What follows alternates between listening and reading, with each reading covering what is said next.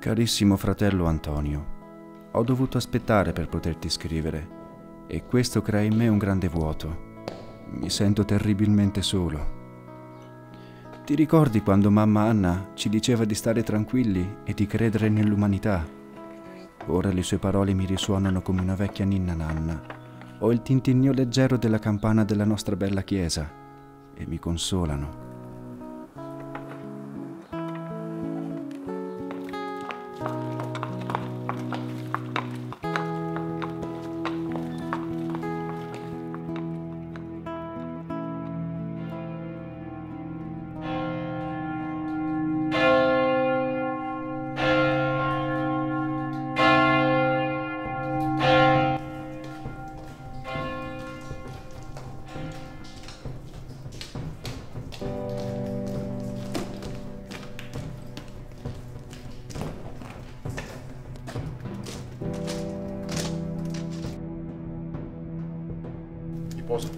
È giunta l'ora!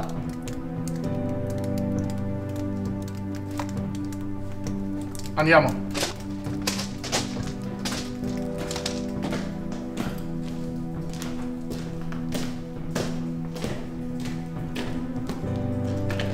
Riposo.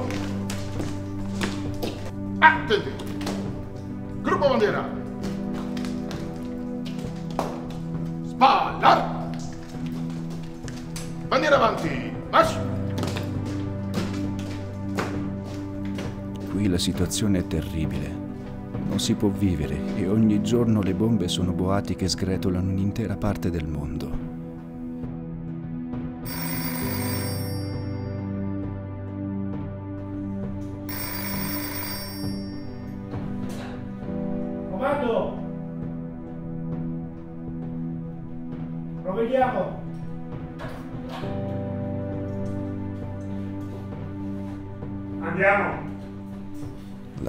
Spietata sotto ogni aspetto. Molti miei compagni rimpiangono giorno e notte di essersi allontanati dalle proprie famiglie. Picchetto a posto, picchetto, attenti!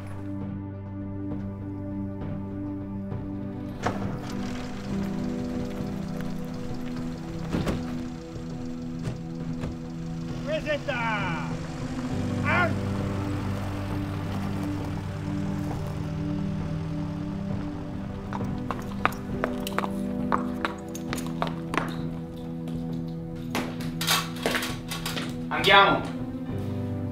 Devi uccidere senza guardare in faccia alcuno. Non importa chi ti troverai davanti. Chi sta al di là di quel confine è giovane come te e non è colpa sua se indossa una divisa di un altro colore o alza una bandiera diversa dalla tua.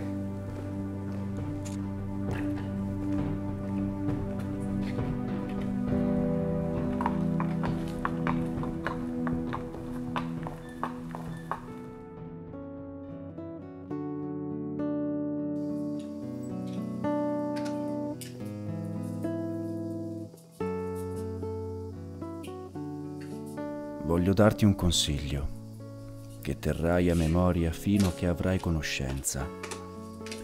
Ti affido nostra madre, sile fedele e affettuoso, non mancando mai ai suoi detti, rispetta i vecchi e aiuta i poveri, adempi i tuoi doveri verso il prossimo e verso la tua patria. Questo sarà un mio ricordo, un mio testamento. Con la penna non posso dirti quanto soffro. Tutto è dovuto all'istinto di conservazione di questa vita, tutte le sofferenze ed i disagi.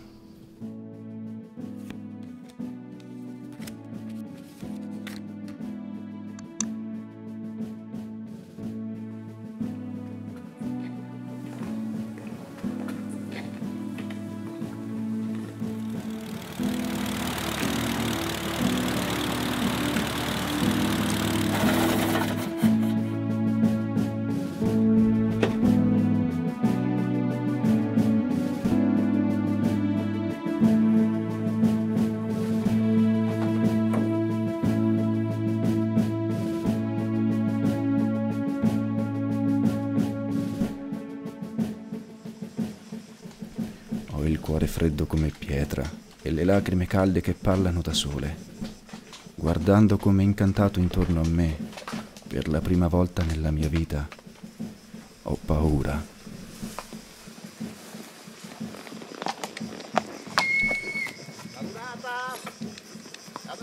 Forza! In riga! Forza! Truppa a posto, truppa. Ah, sì!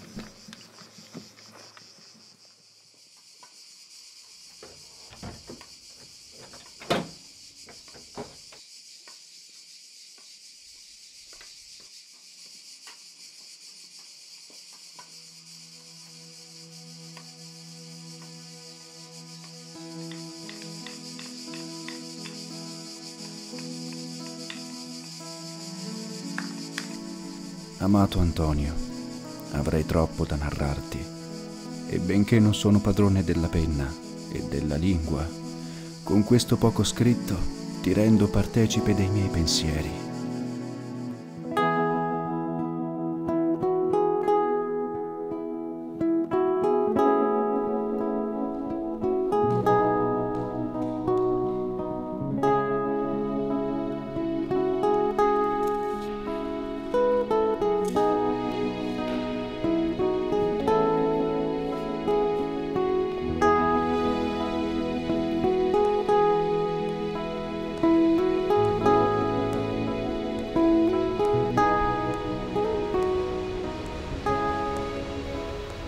Piange il cuore a doverti dire questo, e ne avrei ancora, ma non posso, perché dovrei rigare queste pagine di pianto.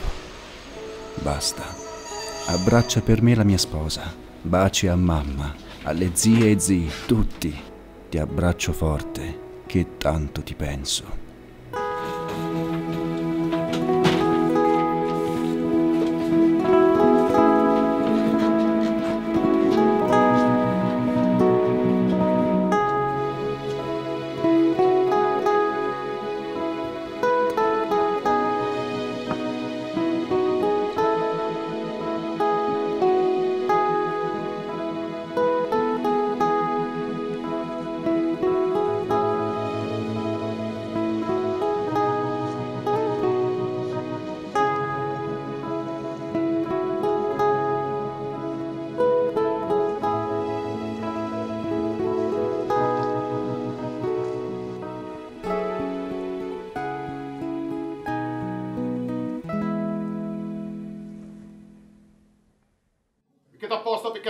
Picchetto a posto, picchetto. Ah, te